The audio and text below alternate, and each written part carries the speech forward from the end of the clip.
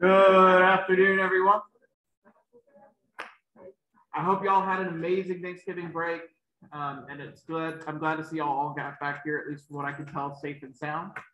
Um, as always, we'll go through our quick announcements real quick and then we'll get on to the lecture. Uh, one thing I do want to say about this week is that these last two lectures in our review, of course, is whatever, but the last two lectures are not from the book. They're something that I've kind of added a little bit of filler just to kind of give you all some perspectives on some different tastes of biology and what's going on there. And obviously today we're doing disease ecology, which is kind of cool because it has a lot of implications for some of the stuff that we've been dealing with for the last two years. So while I do have a more wildlife focused version of that talk, um, keep in mind that a lot of the things that we'll be talking about today relate just as much to humans as they do animals, because humans are just another kind of animal, right? Um, so typical stuff, uh, quiz 14 is due, it's normal time. Uh, this is your last quiz, take advantage of it. Should be a pretty easy one, especially given the material. Um, one thing I do wanna mention is there's at least one question that stems from the videos that are on web courses. Now, those videos are kind of additional parts of the lecture for Wednesday that are kind of a quick tour through the Arboretum, talking about some of the cool different communities that are there so we can put those things into context with some of the stuff y'all might have seen during your iNaturalist assignment, as well as just kind of a quick look at invasive species in Central Florida and what's going on there. So, um, but let me know if y'all have any questions about those videos and that sort of thing. Yes. They're on web courses in the week 14 slash 15 thing. They should just be, they should have been just added. Um, and they are closed captioned and everything. So it, it professionally done, mind you, not just me doing it. So. Um, another thing is don't forget connecting with biology is due. The last one is due on Wednesday. If you have any questions, please make sure you ask me before it's due.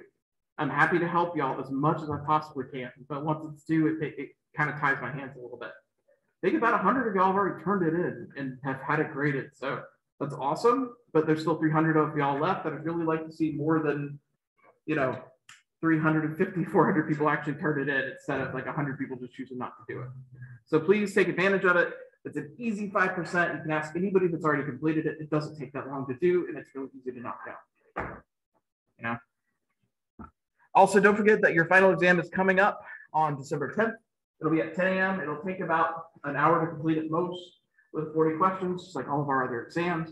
Again, non-cumulative. You can take it online or in person. One thing I do want to point out about this though, if you plan to take this test in person, you need to be here at 10 a.m. If by some chance you miss that, there will be no in-person makeups. You have to make it up online. So just keep that in mind, just because with finals week and how short of a turnaround I have, I'm not really able to facilitate in-person makeups. So if you want to take the test in person, make sure you're here that morning, okay? Also, don't forget that there's an extra credit assignment due for this as well. Um, again, it's due on Friday, so I can have a little bit of time to make sure I get it all graded. And I'm going to compile all these little species accounts into a single document so y'all, as you're heading out of here, we'll have something around the neighborhood of a 100 species little booklet that talks about all the different organisms on campus that y'all have all contributed to. So kind of neat. I think it's really cool. Um, we're hoping to maybe expand this idea a little bit more next semester and we'll see. It should be fun. All right. Does anybody have any questions or anything like that before we get started? Yes.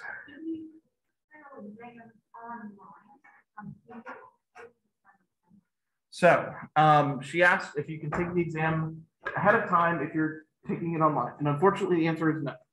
Um, it's not in my control, but basically the one thing I did make as a concession is the final exam for December 10th runs from midnight until 11.59 p.m.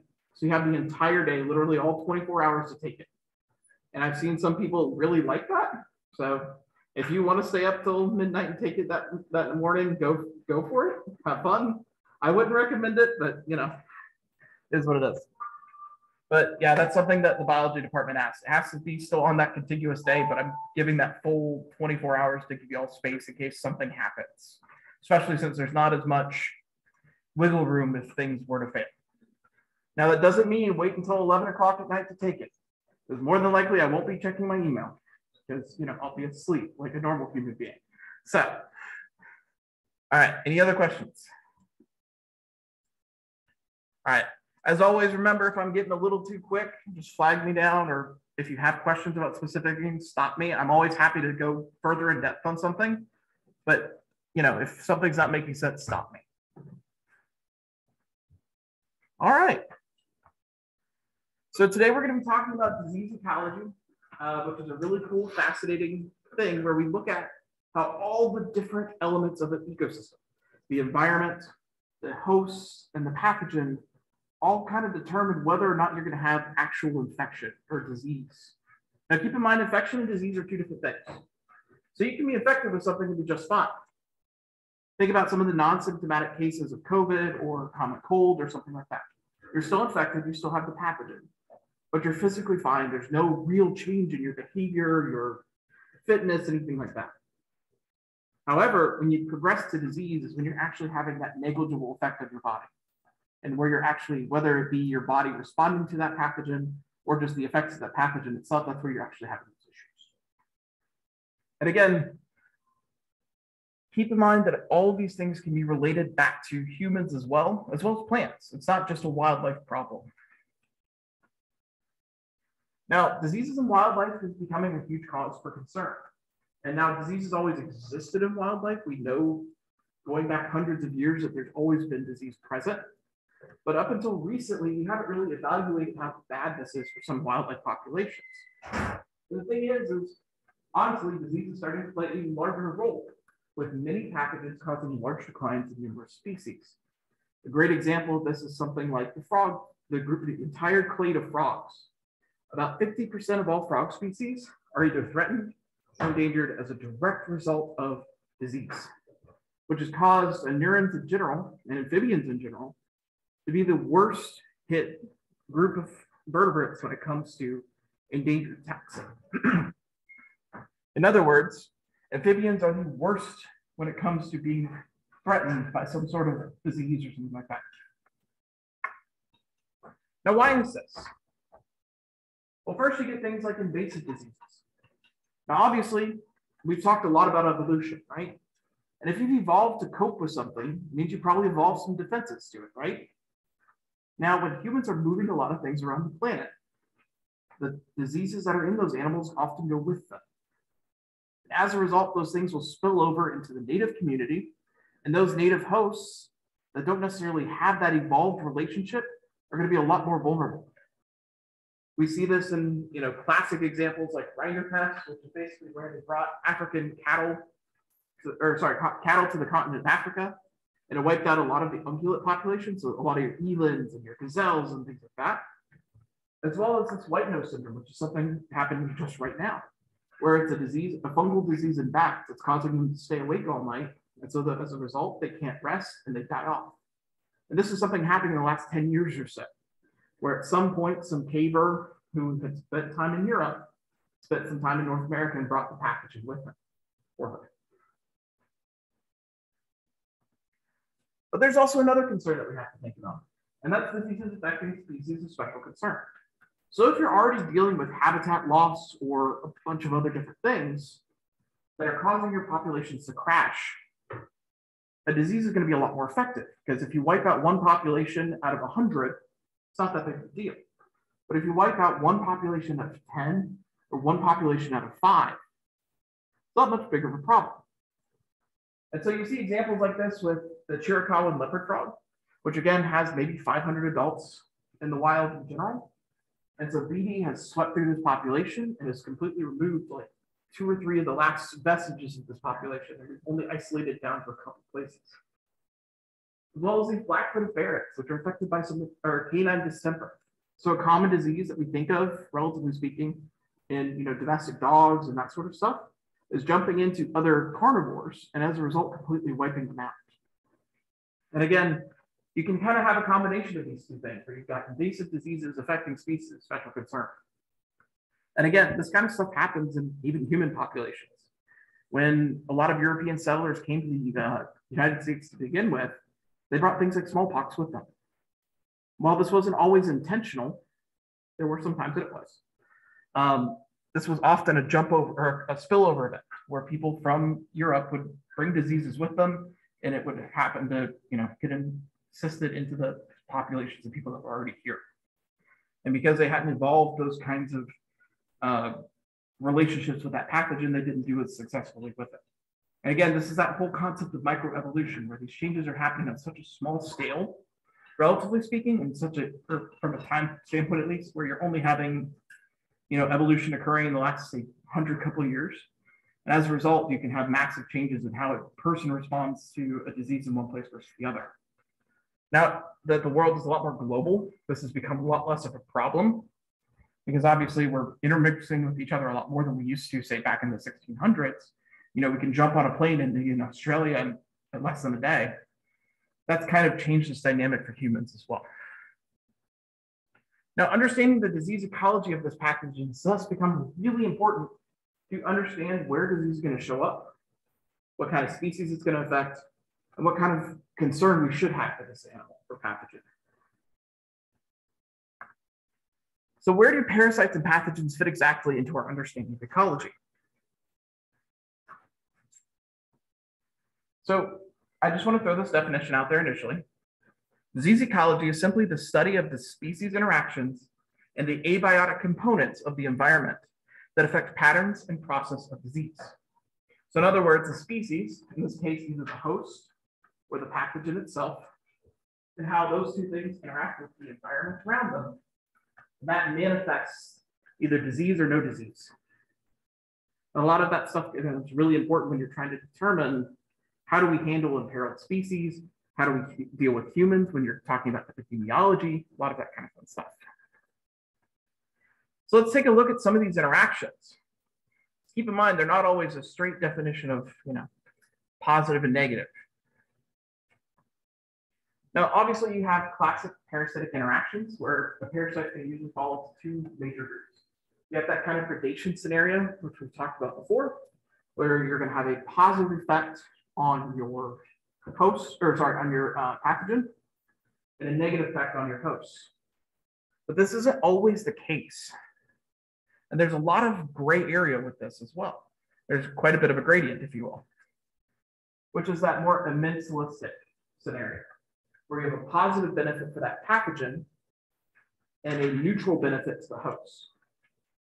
And the kind of tipping point between that neutral and that negative thing can often be a very, very small difference. But in general, we can find that parasitic interactions involve either one of these two scenarios. Now, if you remember back to week 12, the quiz that was on there, I asked you which of these scenarios had a positive benefit and a neutral benefit, or at least a neutral benefit, right? And your options were either amensalism or uh, uh, mutualism, right? And keep in mind, again, this is why I put these things out and why I kind of put that question on there because there's a little bit of gray area, there's a little bit of trickiness to it. And determining what's truly positive and what's neutral is kind of difficult sometimes. So let's put this in context of things that we've already talked about a little bit here. So I showed you earlier this, pair, this food web, right? We're looking at a typical forest here in the southeast. Has deer, squirrels, mice, some beetles that aren't going to be reliant on caterpillars that can be eating off those trees, all this kind of fun stuff. Classic, right? Well, kind of the interesting thing about this is when you account for the parasite, all of a sudden you have this new dominant predator, if you will, that top of the food chain. It's not the giant deer that we think about that's probably a thousand times larger than that tick. It's the tick. And so the thing that's kind of benefiting the most from that system is that tick, right? Now, obviously, this isn't just the case in these small, relatively simple ecosystems. When you look at these much larger ecosystems, where again you have down here green, you your classic producers, and red here you have consumers. Finally, in blue, you have pathogens or parasites. See how quickly all these connections could form there's just a massive amount of interactions. Now, ultimately, the more points you add, the more interconnected that web becomes. However, if you start to remove these points, the whole web could collapse, right? And again, this is all stuff we've kind of talked about a little bit here, but I want to kind of really hit home these points because ultimately, right, you can't just eradicate disease and hope that everything's going to work out, especially when it comes to particular pathogens or vectors of pathogens like mosquitoes. There's often other connections into that food web that could cause massive collapses. So it's more about mitigation than it is about removing. Let's use this as an example. What if we could just make all the mosquitoes in the world disappear? Right? Gone instantly. How about some of y'all give me some benefits of why that might be useful? Yeah. Malaria. Yeah, no more malaria, right? You lose that vector. Humans do better as a result of it, right? Or somebody else. What's another benefit of getting rid of mosquitoes like that? Sorry? Yeah, exactly. You're removing that vector, right? You're getting rid of that ability for that parasite or pathogen to move to another organism. So let's talk about some of the ones that I was able to come up with here. So you have less disease in that in the world, right? You get less instances of things like West Nile, yellow fever, malaria being able to be transmitted to hosts, be able to stick around in populations. You'd also have a less need for pesticides, right? Because if you're not trying to get rid of those vectors, you're not just dumping all that pesticides out into the environment, and as a result, killing a lot of non-target hosts. Things like bees, uh, butterflies, moths, beetles, all that kind of fun stuff can still be effective at pesticides, just like mosquitoes can. And while we try to use as specific and as targeted as possible, it's not always perfect. But what about some drawbacks? Why shouldn't we just kill off all the mosquitoes?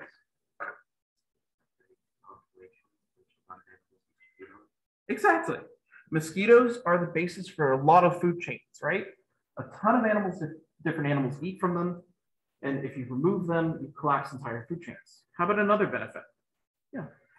Diseases that are spread by mosquitoes help to regulate animals that don't have natural predators. That's a fantastic answer, and one I hadn't even come up with.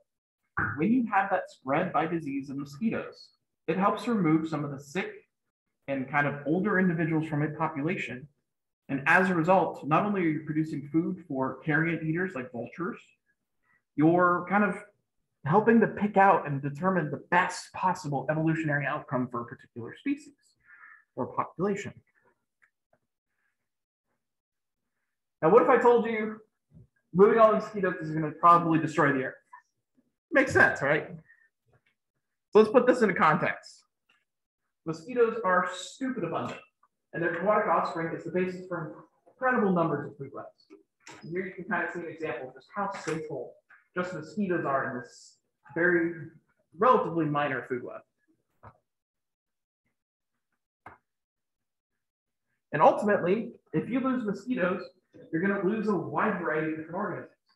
Everything from mosquito fish, which are so named because that's their primary diet, pretty much all they eat is mosquito larvae. Bats, although that's a vampire bat, so it doesn't quite work. Um, toads and frogs and that sort of thing lizards and salamanders and lots of other reptiles. Things like uh, small birds often re rely on mosquitoes, which is kind of funny to think about because you often don't think of mosquitoes as being big enough for a lot of these birds to eat. But things like purple martins, it's almost like a bird diet. And finally, other insects. And who could also forget, also in this picture, does anybody know what that is? It's sundews. Close. But it's a sundew plant. It's a carnivorous plant. By having that very specialized diet, often in places where mosquito larvae persist really well, and as a result, you have lots of adult mosquitoes around, they can get nitrogenous bases and all that kind of fun stuff out of those animals and use that as building blocks for their own genetic material. Ultimately, the big picture thing here is Parasites shape the entire ecological community and help to structure what all can live in a certain area. In other words, you have to think about the parasites and the pathogens. Otherwise, you're not going to understand what's actually going on, and all the effort you put into trying to figure that out is going to be useless. But how exactly do we do that? Kind of a big open-ended question, right? So here's a couple examples. Parasites can often hamper the fitness of one species to allow another to coexist. This is called parasite-mediated competition. So here you have the mean proportion of survival, either control or affected, and the mean mass in just one species of frog, right? Well, it's pretty obvious that as you increase the number of diseases or the amount of disease present in this environment, the amount of animals that survive to metamorphosis is dramatically lower. However, what's really cool, you look down here, the individuals that survived, because that pathogen wiped out a number of them, are going to be much healthier. They're thicker. They've got more body fat on them. They're going to be able to persist better in the environment than they would have if they'd been in a non-affected environment. Kind of cool, right? And here's another great example of this. Again, kind of blowing this up here. A different species of frog, we have the max here on the left, and then their, their rearing density. See how actually density dependence might affect this. They have again control and affected. So in a low density situation, where you don't have that many frogs stocked in a particular pond, this difference doesn't really matter all much. However, when you have that much higher density where there's a ton more frogs, when you've got more infected frogs, yeah, the survival is lower, but that max is larger. They're more healthy, they're going to persist better. Kind of cool, right? But parasites can also hamper competition in different ways. So it's not just intraspecific, you know, between the same members of the same species, but interspecific. So in other words, it's between members of different species. So here you have a really cool example here in St. Martin, where you have two different species of lizards. Now, one of these lizards is a lot more affected by the same pathogen that causes malaria in humans. So you can see that this one has a much stronger effect than this one. What's really cool is you can basically see this little dotted line here, right? That shows you where that malaria is concentrated on the island. Now notice if you look, all of these little dots outside of that little area are black, indicating that the majority, if not all of the anoles that are observed in this area, are this kind of anole. However, inside this little cordoned off area, all these are open with white dots, which is indicative of this one.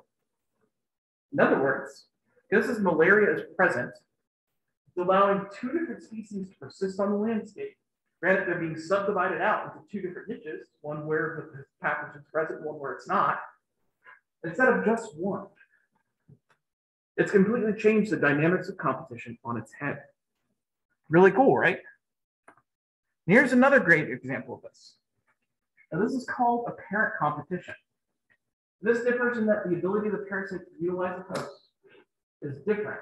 And as a result, one species is going to be more likely to succeed whereas the other one's going to be less likely to, more likely to fail.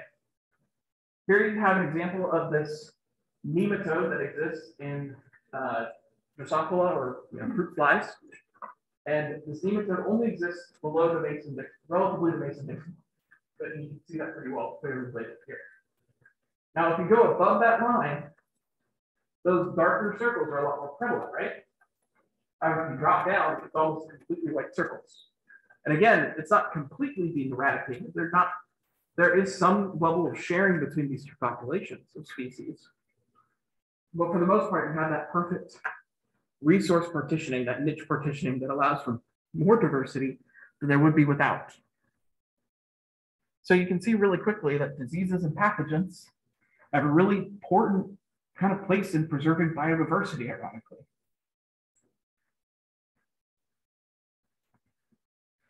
However, these kinds of relationships can also be extremely detrimental.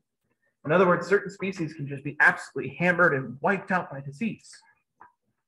And again, this comes back to things like invasive species can completely disrupt these relationships. A great example of this that's currently happening here in Central Florida is how many of y'all know that we have invasive snakes in the Everglades that are like 12 feet long, right? it's pretty easy to get people scared about big, you know, boa constrictors or pythons, right?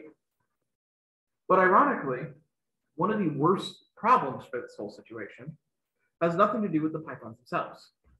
It has to do with this little lungworm that came with them. I forget the exact name of it, starts with an R, but it's this little um, five hooked uh, worm that lives inside of the lungs.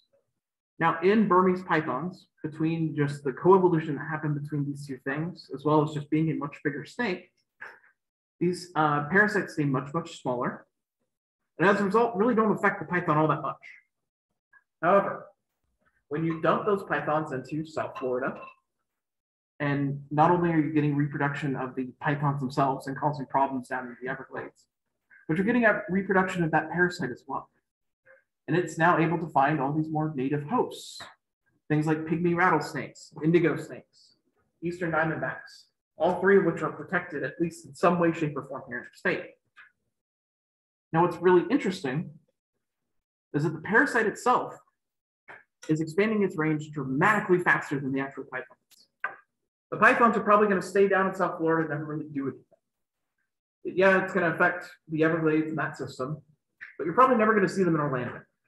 So, in the grand scheme of things, they're not that catastrophic. I don't say that to downplay the effect of the python itself, but I say that to highlight that this pathogen that started out as just kind of a waif traveler with these pythons hitched a ride with them and is now ending up way, way north in South Carolina Georgia, in Louisiana and Alabama. And as a result, we think it's actually killing off a lot of the dusky pygmy rattlesnake populations.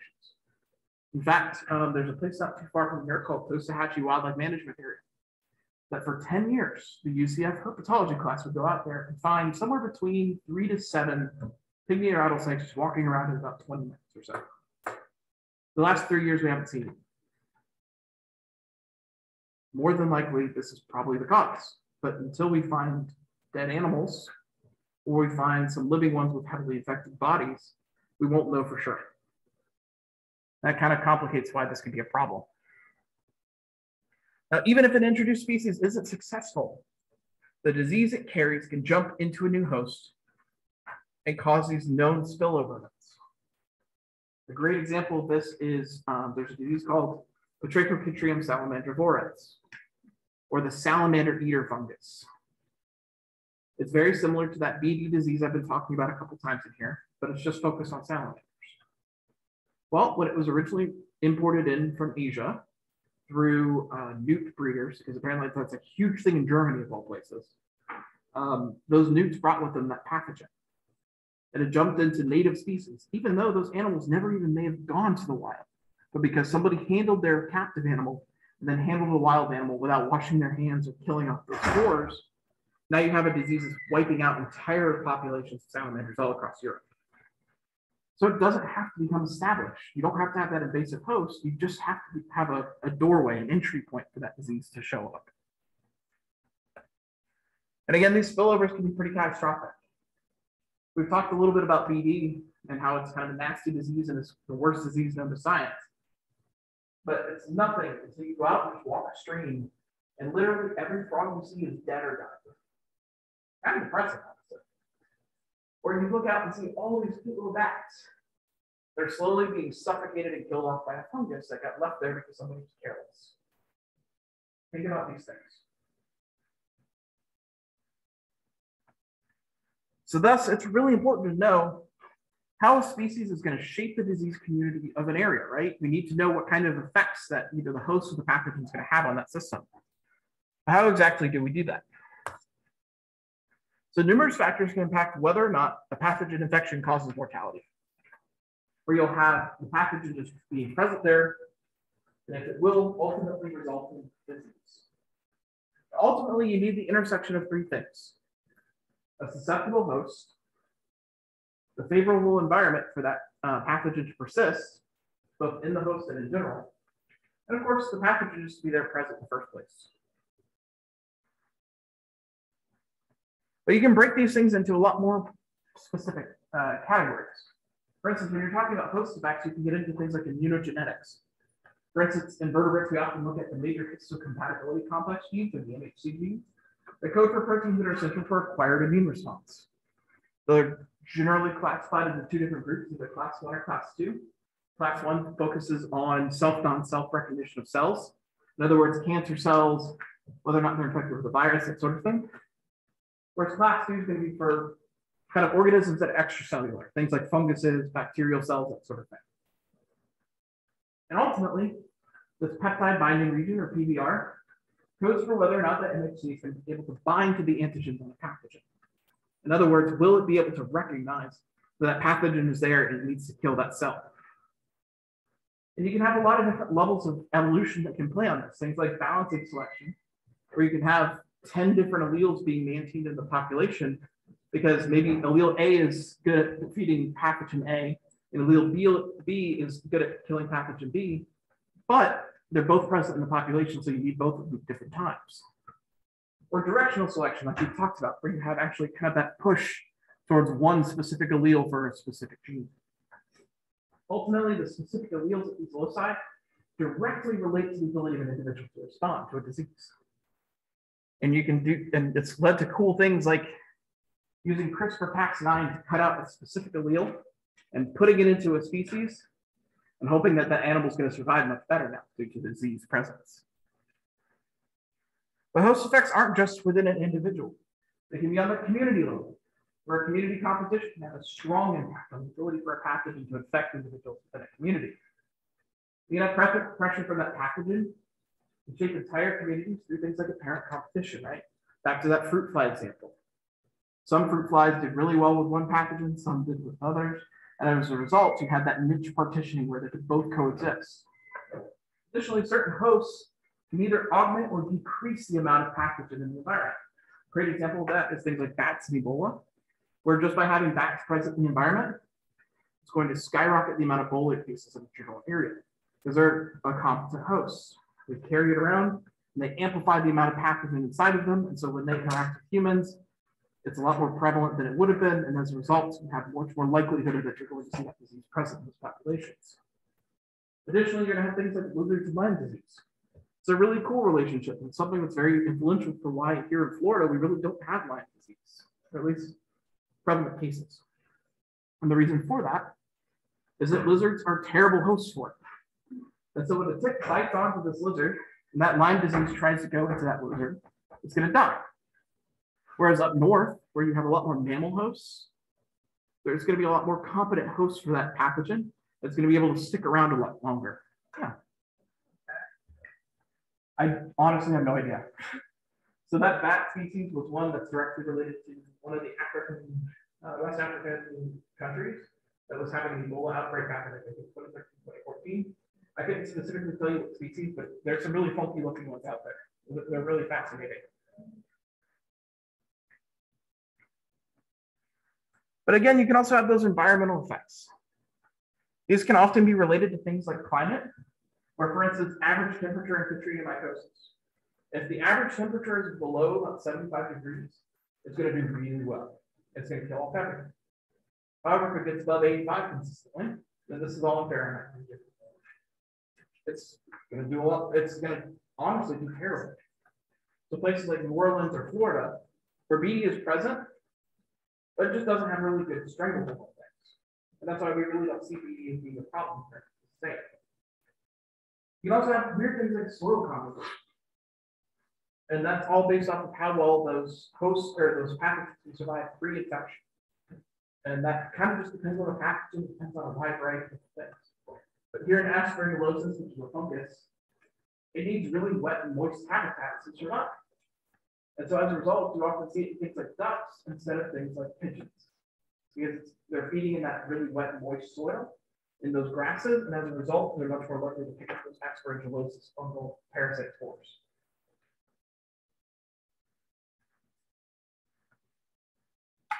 And ultimately, you also have things like the pathogen effects itself. So the things that the pathogen does to be able to avoid or immune systems.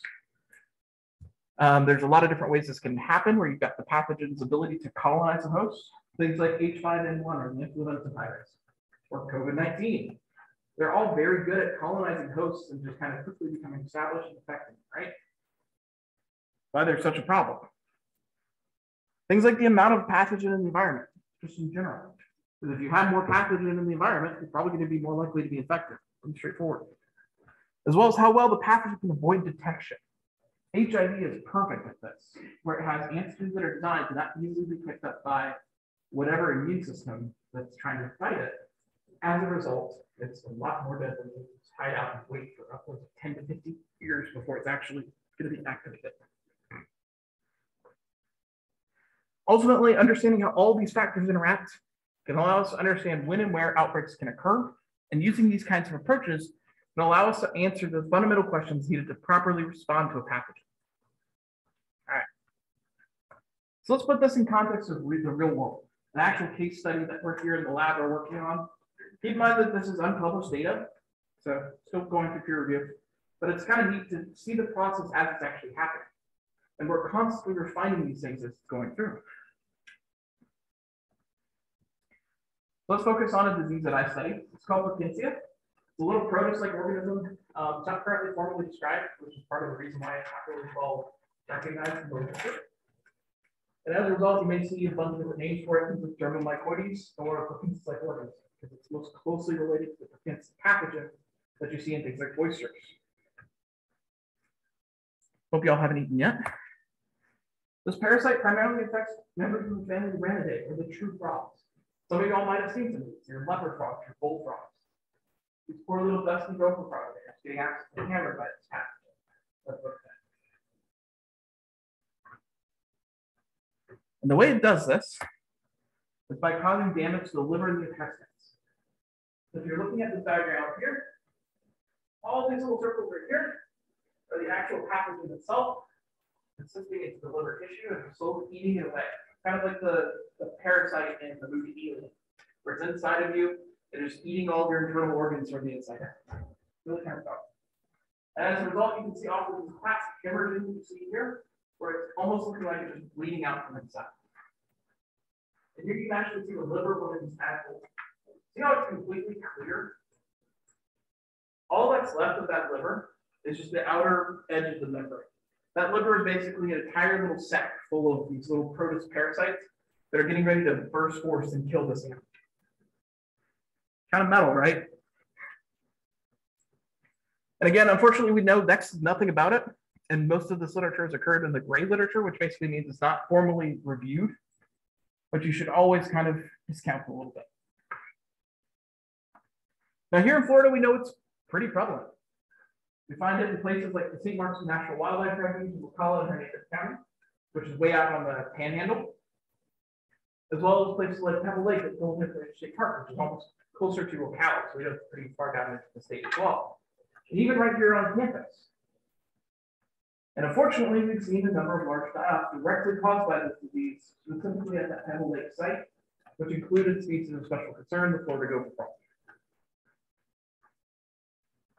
So given all this information, we sought simply just determine where this thing's occurring, what kind of prevalences are where, and what kind of infection intensities we're going to see in different species, different locations, all that kind of fun stuff. Now, in order to do that, we went out and collected samples monthly from 20 different wetlands here in Florida. And after the first year, we cut that down to eight just because that was ridiculous. I basically did for every, for at least one week out of the month, I was spending just out in the field doing this. Kind of difficult to pull off. And this required probably in the neighborhood of 20 different people to help me with a lot of the sampling. So just want to go ahead and say thank you for all that.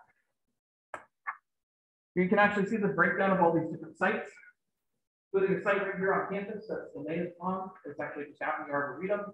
Um, probably most of y'all made it that far. As well as places like Disney's Wilderness Preserve, down towards the Kissimmee area.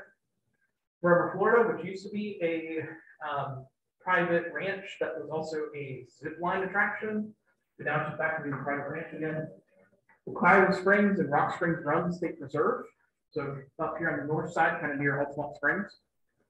And finally, that Pebble Lake site, because we knew that there were infections there already. when we did catch these animals, we used the standardized method so that way we could account for how many individuals that were there. We use that as a way of quantifying. Oh, we know based off of our numbers of frogs here, what the overall population looks like. And then we can collect tissue as well from both from these individuals, both tadpoles and adults. And finally, we collected the, a bunch of different environmental parameters to try to test and see where these animals are, or where this disease is more likely to occur and what kind of habitats.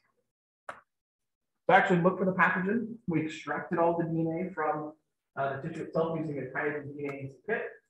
And then we use something called qPCR or quantitative PCR, which is basically where we take the DNA, we put a little fluorescent of phosphorus on it, and we replicate it over and over and over and over and over again. And ultimately, what we're hoping is that if it's, if the animal is positive, it has that pathogen, we're able to replicate that DNA over and over and over again so we can detect it and quantify how many copies of it were there. Ultimately, all those samples that were tested positive the first time were run a second time and a third time to confirm if that actually is truly the right amount, as well if it's a true infection positive or not. Then we did a bunch of statistical stuff on the back end. Ultimately, we collected 1,232 individuals um, from 20 different locations. From those individuals, we found that 395 were positive from and at least one tissue type. And from that, 37% of juveniles, so little miniature frogs, tadpoles were 29% effective, which is kind of weird because that's the first time we've seen that they're the lower ones. And finally, adults were around 34%. All but one species was found to be effective. However, we only found one in the study, and we found a bunch more in other places, and they all they were also infected. And what's really interesting is 132 of these animals were also found to be co-infected with another pathogen, ranavirus, which is kind of like the Ebola of the. Really nasty food. And there you had a significantly higher chance of if you were already infected with Perkinsea, you were going to be more likely to be infected with ranavirus, as well as if you were infected with ranavirus, you're more likely to be infected with Perkinsea. Kind of neat. Here you can see the breakdown based off of those five groupings here, where up top you have the prevalence, which is basically zero, one, zero, none of the animals in that population had it, one, all of them did. Then here you have the log transform version of the genomic equivalent. Or in other words, how many gene copies are we detecting every time we're running this test? And we log transform this because it can be anything from one to billions. And so in order for those stats to work, you have to log transform. And something you'll see pretty quickly is that all these letters basically mean that there's a difference. So if you've got an A and an A, they're the same, there's no statistical difference. But if you've got A and B, there's a difference there, or A and C for that matter. So here on campus, we have this, the significantly lowest amount of Perkinsea of anywhere tested. So that's kind of cool, right? Whereas in places like Pebble Lake, where we know that there's really high levels of infection, there's been mortality events, significantly higher infection or prevalences than anywhere else. And what's really cool is you can also see similar trends with the infection intensity, where Pebble Lake and Rock Springs had significantly higher infection intensity compared to Forever Florida, but they weren't different than say UCF or PWP. And here you can see a breakdown by species and family. Basically, all these are different species. One thing I really do want to point out, here's your Florida gopher. Highest prevalence of any species, highest infection intensity of any species. Kind of scary, right? But what's really cool is we can also come over here and look at Cuban tree frogs. Some of the lowest prevalence of any species. So in other words, maybe this invasive species really doesn't affect the Perkinsea levels at all. If you look, it's not significant, but it's also one of the lower infection intensity would affect for any groups. Now here it is by month. You can look at prevalence at the top, again, infection at the bottom. If you look, it's really strong in the winter. It crashes down all the way to July. Starts picking up until September because of the rains that usually hit during the summer. Drops back down again and then back up towards the end for December. So it's a really strong seasonal uh, trend where you see these different months mean different infection intensities. And so it's really important to sample not just in July, but in January and December as well, because you really need to see how much it's going to change depending on the different season. And finally, this is kind of sad too. Over the course of our study, we found somewhere in the neighborhood of 15 animals that were found dead. They were you know, bloated and nasty looking, so we weren't always able to get these things amplified. And so here you can see there was no significant difference between if we collected them alive or dead with the prevalence was. Honestly, that probably has more to do with the fact that there's just crappy tissue at some point. But when you look at infection intensity between alive and dead individuals, significantly higher. So we can't 100% with certainty say that these animals died with Perkinsea. Sure as hell looks like it. And finally, this is a really cool thing for those of y'all, especially that are into computer science. How many of y'all have heard of neural networking? Yeah, really cool, right? Using kind of a computer's attempt at trying to match and equivalent itself to neurons to kind of find out what connections make the most sense. Well, these are all the results of something called the random forest model, which uses machine learning to basically say we're going to run thousands and thousands and thousands and thousands of different equations to say which of these factors make the most sense when trying to explain where Perkinsea is going to show up and whether or not an individual is going to be affected by that. So what's kind of interesting is you have two different metrics. You have this mean decrease in accuracy and this mean decrease in Gini. And ultimately what these mean is, is as you're removing a particular thing, that's that drop off that you're seeing in that quality of that model and whether or not it's going to predict presence. So top, unsurprisingly, month, location, species. And you can see that was pretty clear when you looked at just the general population trends, right? It made sense that month would probably be pretty explanatory, especially if you're talking about July or location or species for that matter. But there were some other interesting things too, like your average temperature where that sample was collected or ranavirus prevalence. In other words, the prevalence of another disease. Uh, things like up here, this H, Shannon Diversity Index. The higher the Shannon Diversity Index, the more likely there were to that animal that, so if, terrible explanation, my bad.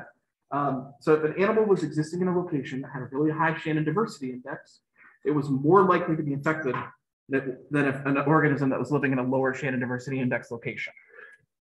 So in other words, diversity is not always the best thing in the world.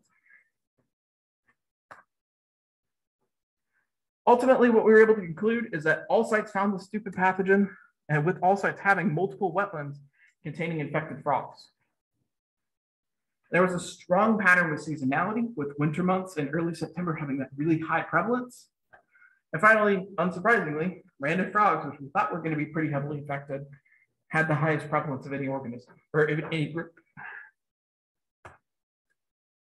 But ultimately, given that really high prevalence of things in Florida, it's important to continue to monitor where this disease is showing up, as well as what kind of conditions may be facilitating these situations. And this is kind of the nice bite at the apple, a quick look at some of these situations. But this stuff changes over time. And so understanding how this is kind of as a snapshot now will be important going forward for things like climate change, habitat destruction, introduction of invasive species, all that other kind of fun stuff. And we'll talk a little bit more about that on Wednesday. Now, I do want to say that there's an amazing group of people, somewhere in the neighborhood of like 12 different undergrads undergraduate all health limits that would come out and sample with me because I couldn't go out by myself. People die that way. Well, a ton of different funding sources. So, with that, I'll take any of y'all's questions as well as just remember your typical announcements. Yes. That's a really good question.